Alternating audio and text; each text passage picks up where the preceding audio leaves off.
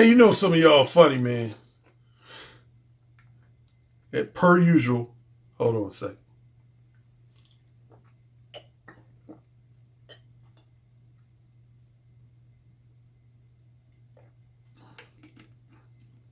Yeah, I haven't had too many y'all say this, but some of y'all been in my comment section. Like one of my own frat brothers.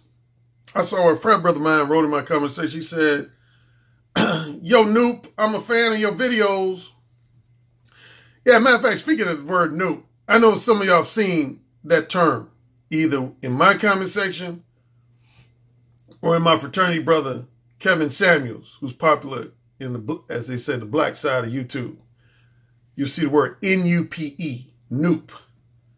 That's a nickname if you're a member of the of the black fraternity Kappa Alpha Psi. Yeah. Just about all of them have a nickname. Like the major black fraternities, if you're a member of Alpha Phi Alpha, they just simply call you an Alpha. They'll say, oh, he's an Alpha. If you're a member of Omega Psi Phi, they'll say, oh, he's a Q dog. Like Michael Jordan and Shaquille O'Neal are Q dogs. They'll say, oh, he's a Q. Some people just say he's a Q, or other people say he's a Q dog. Um, if you remember Phi Beta Sigma, they just simply call you a Sigma. They say, oh, he's a Sigma. And yet, if you remember Kappa Alpha Psi, he'll be called one of two things. Some people just simply say, oh, he's a Kappa. But our other popular nickname is Noop. N-U-P-E.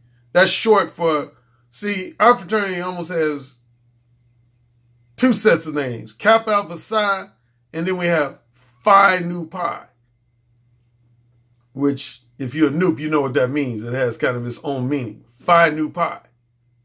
Phi Nu Pi. Kappa Alpha, like you'll see a lot of hats with Kappas. It'll say Kappa Alpha Psi, then at the bottom it'll say Phi Nu Pi. K side Phi Nu Pi. Yeah, that's where Noop comes from, short for the Nu Pi and Phi Nu Pi. Like sometimes you'll see two Kappas talking to each other. They'll say, What's up, Phi? What's up, Phi? That's where that comes from. So letting you enlighten you on that. Yeah, that's where that comes from. What's up, Phi? What's up, Noop? So I've had people occasionally ask me that. They say, I- have seen this in comments. People say, call you a Noop. Yeah, that's a nickname for a member of Cap Alpha Psi. Is a Noop. Um, but anyway, yeah, I had a Noop come in and say, he said, man, Alan, I'm a fan of your videos, but man, recently I noticed you don't really be dropping no no game, man, in in in your your YouTube videos, man. You it's like I got to become a Patreon subscriber to hear you drop game. Yeah, exactly. So to this Noop and other people might be new to my channel, I changed my format. What? How long has it been now? About three weeks, four weeks? I go close to four weeks. Yeah, man, I changed my format. So I already announced this about three or four weeks ago, but now I'm no longer, with the exception of occasionally, occasionally I might, but for the most part, I ain't gonna be dropping no heavy duty knowledge, wisdom, insight, and dating related advice in the free portion. Cause see, up until about a month ago, I did just the opposite. Between roughly mid January and late March, I was dropping all kinds of lengthy videos filled with heavy duty knowledge, wisdom, insight, and dating advice for free. And the, the downside of that is that it was causing me to lose Patreon subscribers. Like last year in 2018, the highest amount of Patreon subscribers I had was roughly about 215. That was in late July, early August. I had as many as 215. Then, starting with early to mid August of last year, all the way up until early to mid March of this year, that dropped down to 170. 170. So I lost about 45 Patreon subscribers. And I was starting to get a lot of complaints from Patreon subscribers. It's like, Alan, man, what's the point of us being a $5 or a $10 subscriber, or in some cases a 20, well, 20 and 50, I didn't really complain from them because they get like discounted uh, Skype consultations from me, so they don't really complain too much. But the five dollar and ten dollars was like, man, what's the point of us paying five dollars, ten dollars, man, if you're giving away all this, you know, valuable knowledge, wisdom, and insight for free? So yeah, man, that's what caused me to change my format. And sure enough, you see the, the, the result of that, the benefits for me of that and my Patreon subscribers. Yep, I went from 215 last year all the way down to 170. Now I'm up to, I think, somewhere between 325 and 330. Right now I have somewhere between 325 and 3 330 Patreon subscribers. Um So yeah, man, I'm happy. My Patreon subscribers are happy.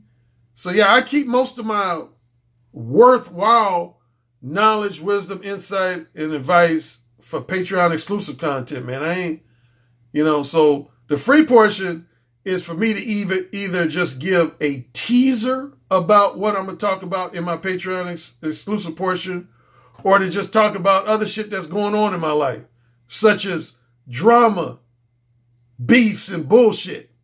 Drama, beefs, and bullshit. Now, somebody asked me it's just a simple, straightforward question. And I've been asked this question quite a few times. This, this, I even used to get asked this question even before I got on YouTube to a degree, but definitely since I've been on YouTube. Simply was, Alan, why do you think you're such a magnet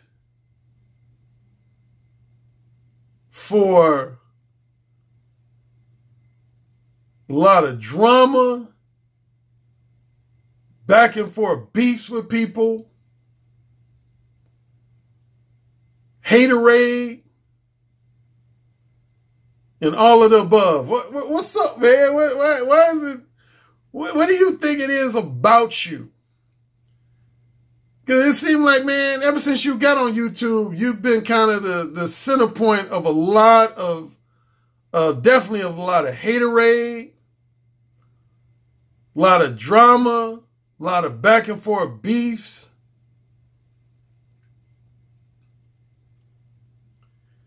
And I'll say this. First, I'll start off acknowledging my own contribution to that. So that's first thing I'm gonna do before I criticize anybody else. I'm gonna acknowledge my own contribution to that. No one way I would say I've contributed to that is, as you know, I tend to do a lot of response and rebuttal videos, which drives my older brother crazy. I tell you that.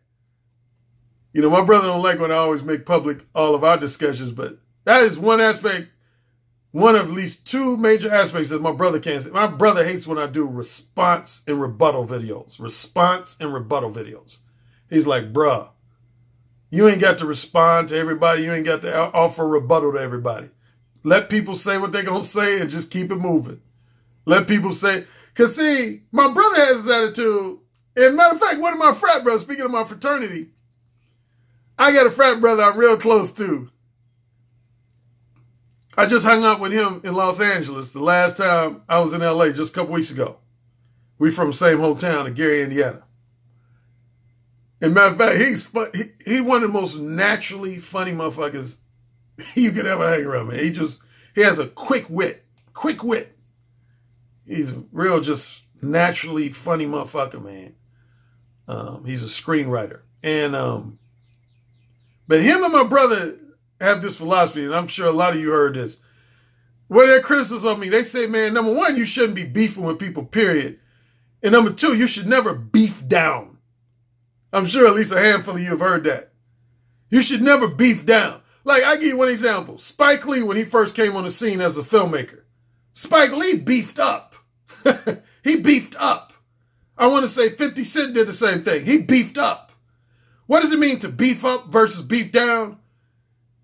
When you're beefing with somebody that has more notoriety, more fame, more popularity than you do, that means you're beefing up. You're beefing up. Like, if I had to be honest, that's what AMS did with me. If you know the, the, the, the history between me and Alpha Male Strategies, he came after me starting with late December of 2017 and January, February 2018. He used to keep my name in his mouth all the time. He used to keep my name in his mouth all the time because he was beefing up. But now that he's got a certain level of popularity, you notice he don't really mention me no more. Have you noticed that? He don't really mention me no more. See, let's put it like this. When I was here and he was here, he kept my name in his mouth. Alpha Strategies kept my name in his mouth. Then as he started rising and got to at least here, if not here, now he's basically had attitude. I don't need to talk about Alan Roger Currie no more because my popularity has risen. So when he was down here, he beefed up. And that, yeah, that's the thing in like media and entertainment. There's a thing that you should never beef down. In other words, you should never carry on ongoing beef with somebody who has less notoriety than you, less acclaim than you, is less accomplished than you, has less achievements than you. And yeah, that's what my brother, my frat brother, Reese, my brother's always felt that way. He's like, dude, you on Wikipedia. Are any of these motherfuckers you beefing with on Wikipedia? Are they? So I ain't the only one to talk about Wikipedia. My brother brings that up a lot. He's like, dude, why you beefing with motherfuckers that ain't even on Wikipedia? He just said, he said, I can see if like, you know, somebody famous, uh, A-list celebrity was talking, like Chris Rock was talking shit about you, or Kevin Hart was talking shit about you in the media, and you start beefing with them. Because he said that would benefit you because because they're more popular than you. The fact that they keeping your name in their mouth would cause your popularity rise. But he said you beefing with motherfuckers that beyond YouTube, nobody know who the fuck they are. nobody know who the fuck these people are. I don't know who the fuck these people are you beefing with. I don't know who the fuck these people are you beefing. And my friend brother just said that the other day. He's like, I don't know who the fuck these people are you beefing with. Who are these people? Why are you wasting time beefing with people who I don't know who the fuck they are? They ain't got no name out here in Hollywood. So that's where I'll acknowledge guilt, man. I've been guilty not only just of beefing, but beefing down. Beefing with people have less notoriety than me, less acclaim than me. They ain't got no public speaking history. They ain't got no books. They ain't never been on national TV. But here I am beefing with these motherfuckers. So that's on me. That's on me.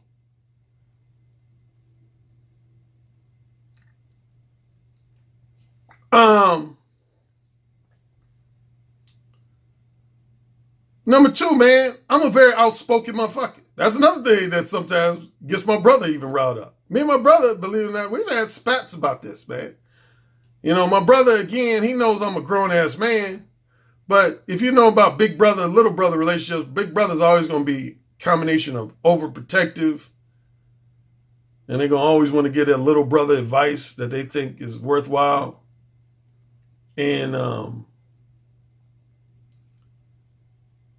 yeah, my brother, he like, there's a term when I, when I get real, real with people, I call it being hardcore real. Like a lot of my hardcore real videos, my brother, he can't stand on videos, man. He like, he be shaking his head like, bro, I don't even understand why you got to be hardcore real with these dudes, man. Why? Why? So yeah, even my brother, man, a lot of times he thinks I keep shit too real. He admires that I keep shit real to a degree, but sometimes he feels like I need to put a cap on how real I keep shit, depending on what the subject matter is. But I'm a very outspoken dude. And a lot of people don't like outspoken people. They don't. I mean, look at the history of the world. I'm, this goes beyond YouTube and the world of book authors and dating coaches. I'm talking about just worldwide. Do you know a lot of people literally have been assassinated simply because they were bold truth tellers? Jesus Christ? if you're religious, if you keep up with Jesus Christ, that's what Jesus Christ was killed, man. Because he, cause he was he, he was too truthful, man. People was like, he telling too much truth. A lot of civil rights leaders were killed because they were telling too much truth. A lot of people don't like truth tell, don't, don't like bold truth tellers, man. They just don't. People don't like people who just tell too much truth, man. To the point where the number one time you, you, you're really going to be a target for, say, something like an assassination if your truth telling is causing people to lose money. Like, let's say I was telling truth about, I don't know, some aspect of the food industry that caused some aspect of the food industry to start losing millions, if not billions of dollars, man. Shit, man, I would be a marked man. I would get marked. Motherfuckers be like, man, Alan, Alan Currie keep talking about the beef industry or the sugar industry. And now we losing hundreds of millions of dollars every year because of this motherfucker running his mouth. We got to shut his ass up. So anytime you're an outspoken, bold truth teller, depending on what you're telling truth about, again, the main time you're going to be a target for death is if you telling truth that's causing people to lose like millions of dollars, if not hundreds of millions or billions of dollars. When you're telling that type of truth, oh, people gonna come after you, man. Now, I ain't, I ain't never told no truth that has caused nobody to lose millions or hundreds of millions of dollars. But yeah, when you tell that type of truth, that's what motherfuckers gonna be like, okay, his ass got to get, we got to shut his ass up. And there's another reason why, answering the question, why am I a magnet for drama? For well, here's here's two things, and then I see my time is running out, so I gotta I ain't I can't be too lengthy, but two other things I'll add. One is if you remember when I first got on YouTube, I said two things that have still to this day been true. I remember specifically. I came on YouTube doing video podcasts in early April of 2017, a little over, just over two years ago. And I remember either my second, third, no later than my fourth video, there was two things I said that have held true to this day. There's two things I said. I said, number one, I said I was lightheartedly talking about my strengths and weaknesses as just a person in general, in particular as a book author and dating coach. I said my I talked about strengths, which is probably the longer list, and then I highlighted maybe two or three weaknesses of mine. And the two or three weaknesses, one, I said, I'm a name narcissist. I like to call myself a name related narcissist. What do I mean by name? In other words, this relates to the the thing my brother and my frat brother hate about me doing me all my response and rebuttals. I pay attention when people mention my name. I pay attention when people mention my name. Some people know how to ignore, particularly like well-established celebrities. They know how to ignore when people are mentioning their name. Now, I'll tell you one celebrity who has that weakness. If you keep up with NBA basketball, Kevin Durant. That's one of the things Kevin Durant gets criticized for, man he like pays attention to when his name is mentioned on like Twitter and Facebook and social media in general. He like he he don't, he don't like his name being mentioned in a negative way, man. And so he he he would be somebody who I would lightheartedly call a name narcissist. He don't like he don't like for people to discuss it. But once you get into the public eye, you got to expect that. But the bigger thing I said about myself, I said, I said one thing about me. I said modesty ain't my strong suit in a lot of areas. I said, modesty ain't my strong suit. And that's why probably my single biggest criticism I get from a lot of people is the criticism of Alan, you cool, but damn, man, you come across as very cocky, very egotistical, very full of yourself, very conceited.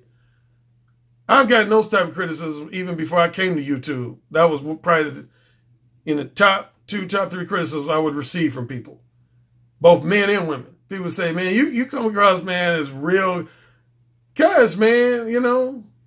Yeah, I, I, but I said that when I first got on YouTube. I said, mine and it depends on what you're talking about. Now, there's some areas, of course, of life I'm modest in. Like, if you put me right now in Silicon Valley in a room full of computer software experts, what am I going to be cocky about? I ain't got no expertise in computer software. If you stuck me on an NBA court with the Toronto Raptors and Golden State Warriors, knowing that I ain't got the athletic talent that these guys have. What am I going to be cocky about? So it depends on what you're talking about, what area of life and area of expertise you're talking about. But the one area I am, if no other area, I'm extremely uh, cocky about, and I said this when I first got on YouTube, is anything related to verbal seduction and erotic dirty talk. Verbal seduction and erotic dirty talk. In that specific area, I know I'm the shit. I know I'm the shit. That's why my nickname is the king of verbal seduction. I know I'm the shit. I ain't got no modesty in that area. I ain't got no modesty in that area because I know I'm the shit. All you got to do is listen to me on my old BlogTalkRadio shows, man. I had women playing with their pussy when their husband or boyfriend was in the room with them, man. You got to be a bad motherfucker to do that shit. To get a woman to play with a pussy while her boyfriend or fiance or husband is in the room with her. I did that at least two or three times on when I was on my blog talk radio show. I had women playing with themselves with the husband, fiance, or boyfriend in the room with them. You gotta be a bad motherfucker to do that shit, man. So yeah, that's one area, if no other area. When it comes to anything related to verbal seduction, erotic dirty talk, I know I'm the shit.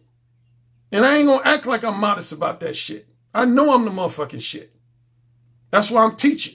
That's why I'm a teacher of it. Because I know I'm the shit. Like, I know guys who've got more pussy than me in my life. Some friends and friends got more pussy than me, but their verbal seduction skills ain't better than me. Like, they've ended up, like, there's a lot of guys who get pussy. If you know about my five archetypes, reciprocator, rejector, wholesome pretender, erotic, hypocrites, manipulative, time wasters, I know a lot of guys who got a lot of pussy, but 90% of that pussy has been from reciprocators. It's been from reciprocators. They didn't get no wholesome pretenders or erotic hypocrites in bed. But when it comes to getting specifically those two archetypes of women in bed, wholesome pretenders and erotic hypocrites, I would go as far as say I don't think there's a motherfucker walking this earth better than me in that area. and I'll stand by that to the day I die. I don't think there's a motherfucker on earth better than me when it comes to seducing the wholesome pretender archetype of women and erotic hypocrite archetype of women. Matter of fact, the woman who you always hear me refer to as Sharon on multiple videos, it was her and her two girlfriends that gave me that nickname, the king of verbal seduction. And it was because they, they were an eyewitness to me seducing a lot of wholesome pretender and erotic hypocrite type women.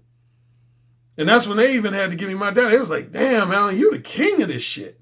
You know how to turn a slow no into a fast yes.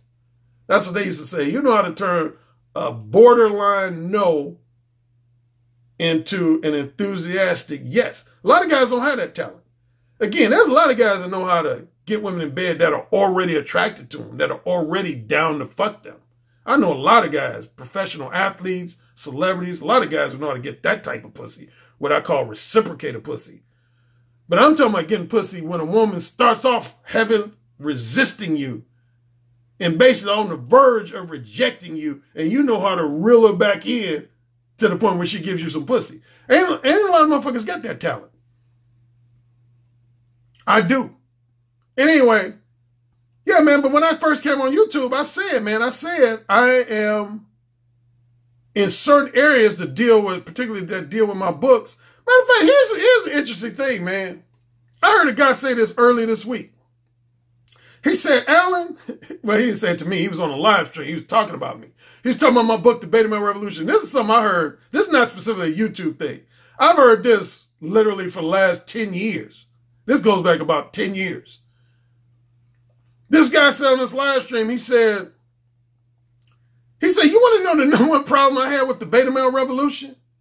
Is not the book itself, but it's the fact that Alan Roger Currie is the author. and he was serious. He didn't say it like lightheartedly. He said it real seriously. He said, I, he basically, in some area, he basically like, I don't like Alan Roger Currie. he just flat out pretty much said it. He said, I don't like Alan Roger Currie. He said, but I love his book. He said his book is good. He said, I have a few disagreements with it, but he said, overall, I like the book. But he said, I don't like Alan Roger Currie. And I remember I used to post on this site I mentioned before called the London Seduction Society Forum. The London Seduction Society Forum. And um, it's it got shut down. It's no longer, but it was it was probably the most popular dating and relationships advice message board discussion forum for men based in London. And I had at least a handful of guys used to say that to me on that message board. They say, Alan, like I had this one guy, he wrote me, he said, Alan, can I be honest with you? I'm gonna give you a compliment, but I'm gonna give you a criticism. I said, sure, go ahead. He said, man, your book Mode One is one of the most thorough books I've ever read, man. He said that book is just, it's just an excellent book. He said, but at the risk of offending you, I wish somebody else wrote that book other than you. he said that. He said, I wish somebody else was the author of that book other than you. He said, because I just, honestly, I don't like you, man. And he said, I say that with, with, with respect, actually, but he said, I just, and his main criticism related to what I already talked about. He said, he said, my main problem with you, man, you just, you come across as very cocky and egotistical and full of yourself. And he said, it's just a turnoff to a guy like me, man. He said, I, I just don't, I don't want to hear a, a guy who I perceive as cocky giving me dating and relationships advice. I want a guy who has a more humble demeanor and disposition about himself, uh, far more humility about himself.